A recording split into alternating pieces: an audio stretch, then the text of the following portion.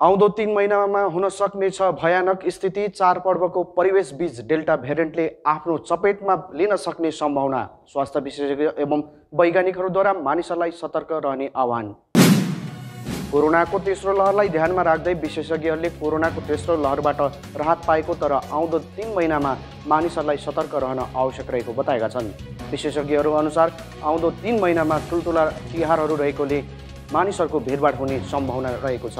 त्यसैले मानिसहरूलाई सतर्क बस्ने साथै घरमा नै बसेर पर्वहरूलाई पालन गर्नुपर्ने सुझाव दिएका छन्।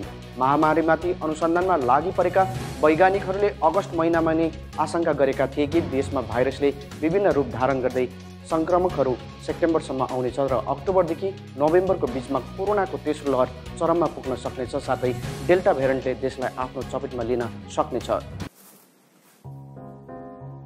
सरप्राइज है। वाइफ के लिए। फ्रेंच बेड एकदम लो प्राइस रॉयल ओक से।